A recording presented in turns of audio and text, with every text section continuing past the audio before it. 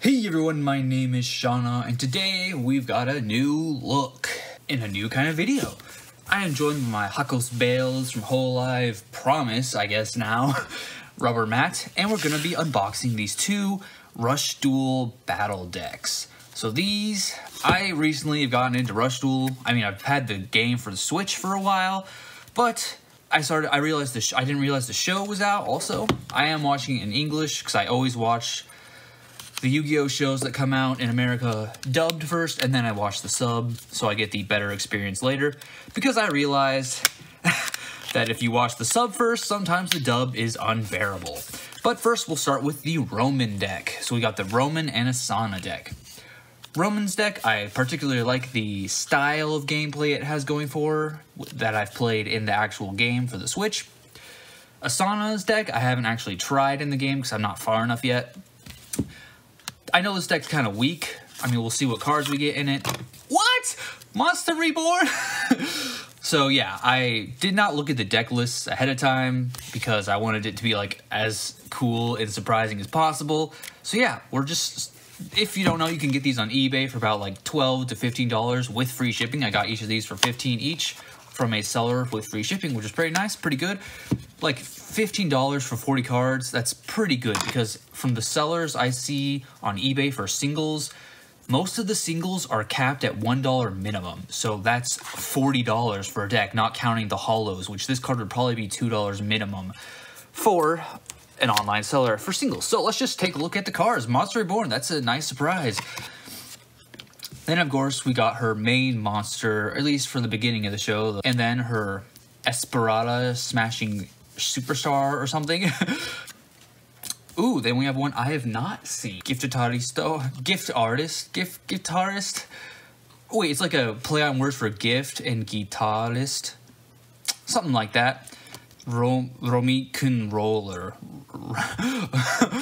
two of those. That's nice. Or three? Oh, two. Two of those, which is nice and the the Beristo.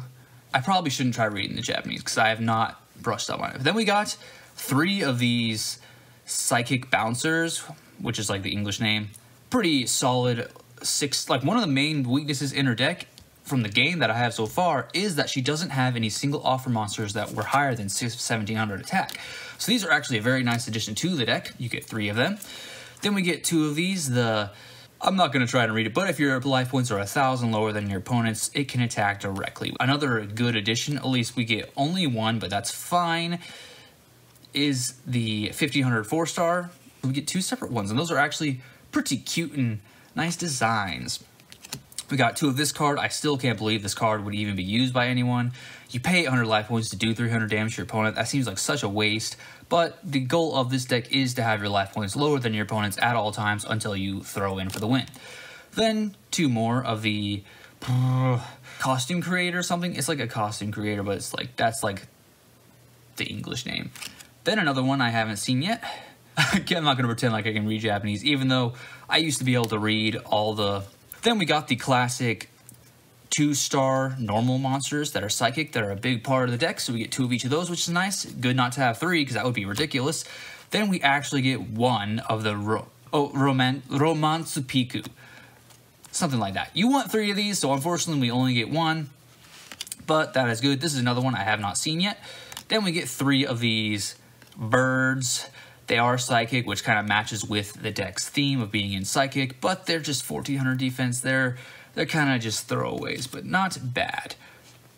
Then you have this card, which I'm pretty sure you tribute two normal monsters on your side of the field to destroy an opponent's level 8 or lower monster.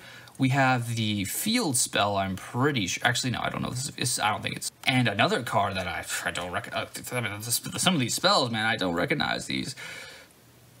Then we have a stop defense, pretty classic card. The higher level of piercing, where like multiple of your monsters can do piercing battle damage. This card, if you have two psychic monsters on the field, you can change the battle position of an opponent's face-up monster to face-down defensive position, I believe. This one, you raise your life points by 500 per psychic monster you have when your opponent normal summons a monster. This one, I have no idea. This one, you can lower your opponent's attacking monster by 500 points when you have maybe like a psychic monster in the graveyard or on the field. And this one, I don't know what it is. And then you get a little extra cards, showing some maybe strategies and stuff. So yeah, overall a pretty interesting deck. Glad to have the cards. Monster Reborn was cool. You get a holographic legend, although this is the only holographic card you get in the entire deck. Now, if you're more familiar with the TCG, I will say these cards feel very nice and like firm and stiff and well made, kind of like speed duel cards. At least the ones I got from when they were first released felt a little different and more like higher quality.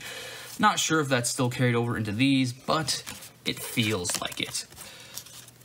So we're gonna clean up the area and we'll move on to the Asana deck. Okay, on to the Asana deck. I actually really like her as a character. I think she's kind of funny.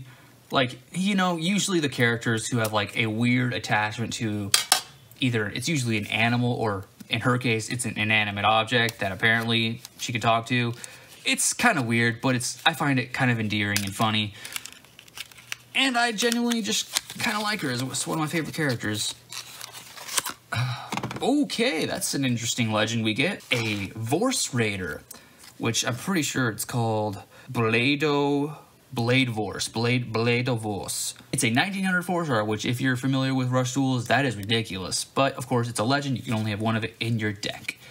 And then, of course, we've got the big old bad boy, the Maximum Monster. Pretty freaking cool that you get this. I mean, it's expected. If you didn't get this, people would lose their minds.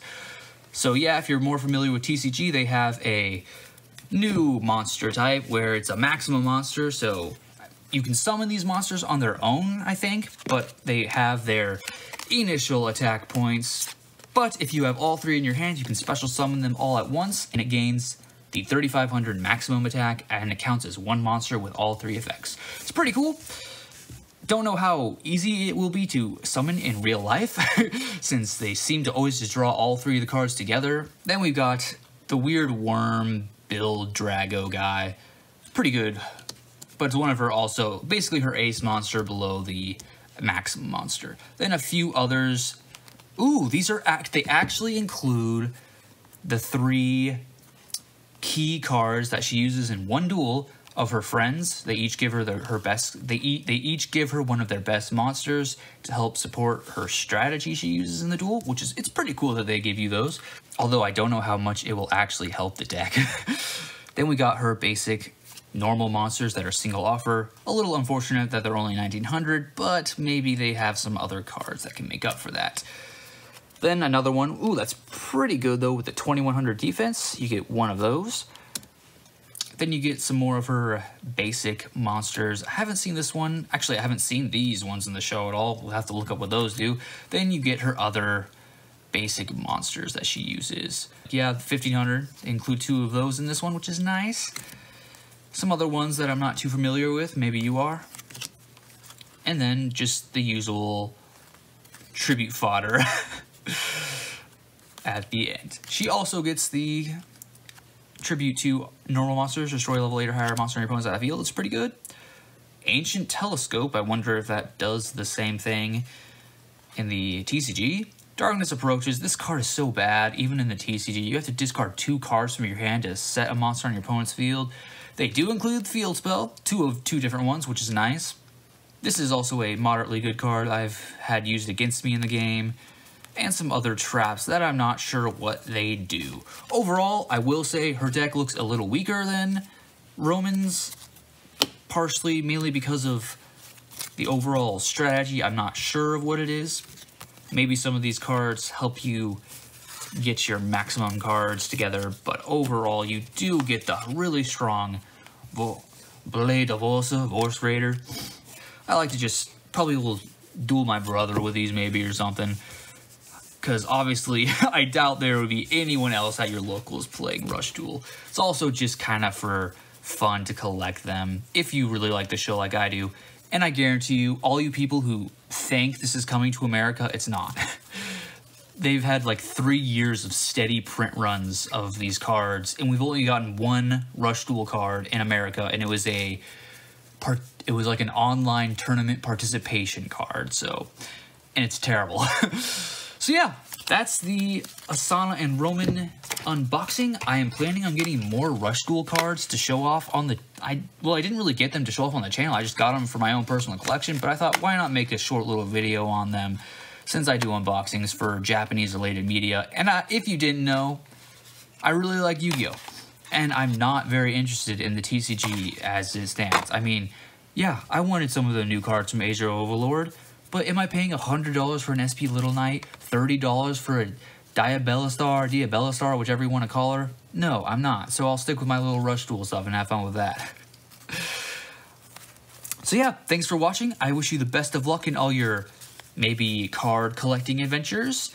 We'll be opening some packs too. I am sorry, I bumped it with my chin. we'll be opening some packs too. I'm planning on getting some of those as well. Won't really be any of the newer stuff. We'll see. Anyways, thanks for watching. I'll see you in another video. Farewell, my friends. Here we are from the editing room with some final notes. I did do some duels with these decks, and this one's definitely way more powerful. Asana's, as I expected, gets held back from those three anime-related cards where she used three of her friend's best high-level monsters in her deck.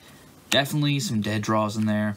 Only, they all can do pretty good effects on their own, but they just, they can get in the way pretty easily because they don't synergize with the rest of her deck. Romin's deck is pretty good. Hard to say since she's going only against Asana for now, but this deck is definitely pretty weak and you'll need to upgrade it with some stuff. Her deck is just overall really good. If you like Romin's deck, it's a good start. Comes with some good stuff to start. There are, obviously in both decks, there's some dead cards in the spells and traps that kind of work or are kind of generic, but you definitely want to look for other things. But overall, these are actually a great way to start, and also, something I found out from looking it up is they're each a 40 card deck with one extra card being the legend card. So any of these battle decks can come with, I think, either one of six random legend cards. So obviously Monster Reborn and Vorse Raider are two of them. Don't know the other four. So yeah, I'm really enjoying these decks and they're actually quite fun to duel as is, but unfortunately they were not built to be balanced when facing each other, I would say.